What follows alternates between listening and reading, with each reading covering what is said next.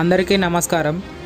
ఈరోజు మనం మన జీవితాన్ని ఏ విధంగా మార్చుకోవాలో ప్రస్తుతం లాక్డౌన్ కొనసాగుతున్న వేళ మనం నిర్వర్తించవలసిన బాధ్యతలు ముఖ్యంగా నేటి యువత చేయవలసిన పనుల గురించి మరియు ప్రస్తుతం రాబోయే కాలంలో నేటి యువత ముందున్న సవాళ్ళ గురించి పూర్తిగా తెలుసుకుందాం.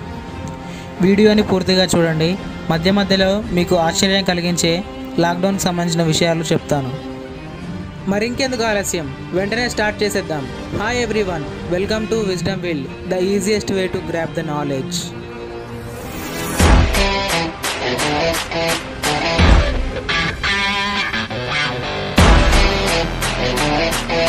అయితే ప్రస్తుతం మన దేశంలో లాక్డౌన్ కొనసాగుతున్న తరుణంలో ఇప్పటి వరకు ఎన్నో కార్యక్రమాలు అయ్యో నిన్నది చేయలేకపోయానే అని అనుకునేవి. అదేవిధంగా మన రోజువారీ కార్యక్రమాలలో ఈ పని ఇంపార్టెంట్ అని తెలిసినప్పటికీ కూడా వాటిని చేయడం మానేస్తాం. అలాంటి పనులన్నీ ఇప్పటి నుంచి స్టార్ట్ చేయడం మొదలుపెట్టండి. వాటిని వీలైనంత త్వరగా పూర్తి చేయండి.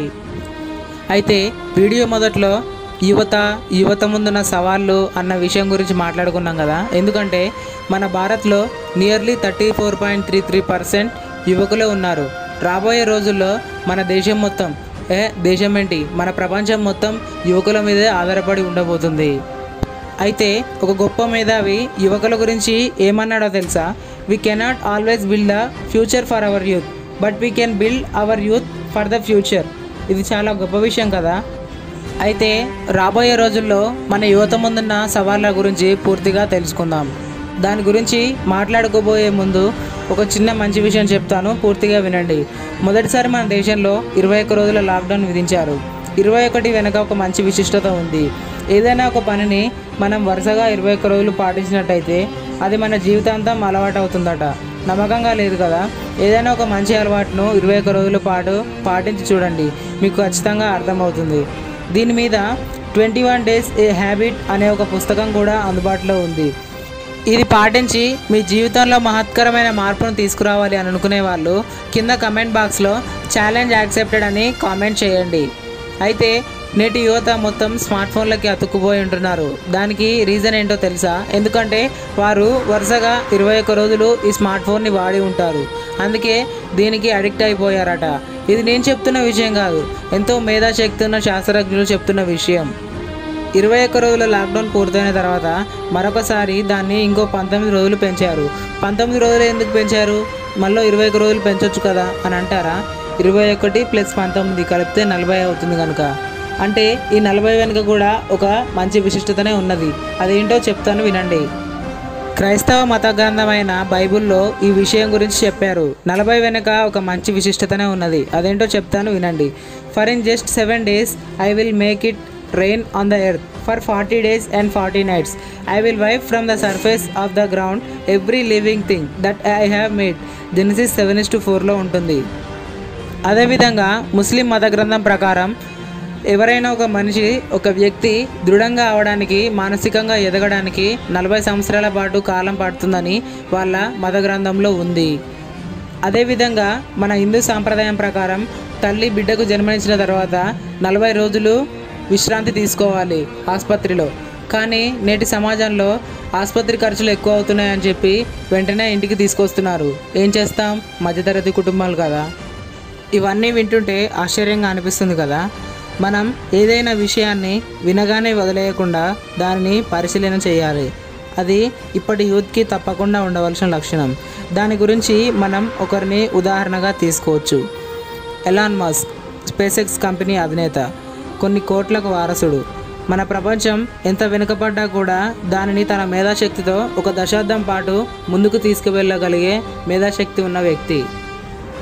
అలాగే ఇన్నోవేషన్ దీని గురించి ఒక చిన్న సంఘటన చెప్తాను పూర్తిగా వినండి. ఇప్పుడు మనకు లాక్డౌన్ లాగానే సిక్స్టీన్ సిక్స్టీ సెవెన్ లండన్లో ప్లేగు వ్యాధి కారణంగా లాక్డౌన్ను విధించారు. అప్పుడు క్వారంటైన్లో ఉన్న ఒక వ్యక్తి తన మేధస్సుకు మన శాస్త్ర పరిజ్ఞానాన్ని సైతం మార్చేసిన ఆవిష్కరణ పుట్టుకు వచ్చింది. అదేంటో కాదు గ్రావిటేషనల్ థియరీ. ఆ వ్యక్తి ఎవరో కాదు సార్ ఐజాక్ న్యూటన్. ఇలాగే మనం కూడా ఇన్నోవేషన్ వైపుగా మన అడుగులు వేయాలి. కొత్త కొత్త ఆవిష్కరణలు చేపట్టాలి. ఏమో మనకేం తెలుసు ఎవరిలో ఏం శక్తి దాగుందో. అయితే ఇక్కడి వరకు బాగానే ఉంది కానీ రాబోయే రోజుల్లో మన ప్రపంచం ఎలా మారబోతుంది? దానికి అనుగుణంగా మనం ఏ దిశలో అడుగులు వేయాలి అనే విషయంపై నేటి యువతకు ఒక ఖచ్చితత్వం ఉండాలి. అయితే ప్రస్తుతం పరిస్థితుల ప్రకారం artificial intelligence machine learning cloud computing ఇవన్నీ రానున్న రోజుల్లో మన ప్రపంచాన్ని సైతం తన గుప్పెట్లో పెట్టుకోబోతున్నాయి. వాటి వైపుగా ప్రతి ఒక్క యువకుడి అడుగు పడాలని నా యొక్క సందేశం. ఇదే విధంగా నేటి యువత పుస్తకాలు చదవడం బాగా అలవాటు చేసుకోవాలి. ఒక పెద్ద మనిషి ఒక మాట అన్నాడు అదేంటంటే we lose our selves in books and we find our selves there too అదేంటి? బుక్స్ చదవమంటున్నాడు? ఈ మధ్య చాలా వీడియోలు తగినంత కంటెంట్ దొరుకుతుంది కదా ఇంటర్నెట్లో? అని అంటారా? సింపుల్. ఇంటర్నెట్లో అయితే వాళ్ళు పెట్టింది మనం చూడాలి. అయితే పుస్తకాలు చదివితే మన ఇమాజినేషన్ లెవెల్స్ చాలా పెరుగుతాయి. మనం మీదనుకుంటే అది ఊహించుకోవచ్చు. అందుకే ఐన్స్టీన్ ఒక మాట చెప్తాడు. Imagination is everything it is the preview of the life's coming attraction సరే మనం ఏమేమి నేర్చుకున్నామో మరొకసారి రివైండ్ చేసుకుందాం. Twenty one days a habit challenge అంటే ఈ దీన్ని పాటించాలని అనుకునే వాళ్ళు కింద కమెంట్ బాక్స్లో ఛాలెంజ్ యాక్సెప్టెడ్ అని కామెంట్ చేయండి. మీ యొక్క ఇన్నోవేషన్ని ఈ హ్యాబిట్ చేంజింగ్ ద్వారానే మొదలు పెట్టండి. ప్రొబేషన్ ఏదైనా ఒక విషయాన్ని వినగానే వదిలేయకుండా పరిశీలన చేయాలన్నమాట. మరొకటి ఇన్నోవేషన్ నాట్ ఇన్వెన్షన్ అంటే కొత్తవి కనిపెట్టమని కాదు మన మెదడును పదును పెట్టి ఎగ్జిస్టెడ్ థియరీస్ నుండే కొత్తది క్రియేట్ చేయడం. అట్ లాస్ట్ బుక్ రీడింగ్ అంటే మనం ఉన్న ప్రదేశం నుండి ఇంకో ప్రదేశానికి వెళ్ళమని. అర్థం కాలేదా? మనం బుక్ చదివితే మనం ఉన్న ప్రదేశం నుండి మరొక ప్రదేశానికి వెళ్తామట. ఒకసారి ట్రై చేయండి. Okay thank you guys hope you all like this video keep smiling మీకు కనుక ఈ వీడియో నచ్చినట్టయితే లైక్ చేయండి షేర్ చేయండి. మరిన్ని ఇంట్రెస్టింగ్ అప్డేట్స్ కోసం నా ఛానల్ని సబ్స్క్రైబ్ చేసుకోండి. దాని పక్కన ఒక గంట ఉంటుంది. దాన్ని లాగి పెట్టి ఒకటి కొట్టండి అంతే.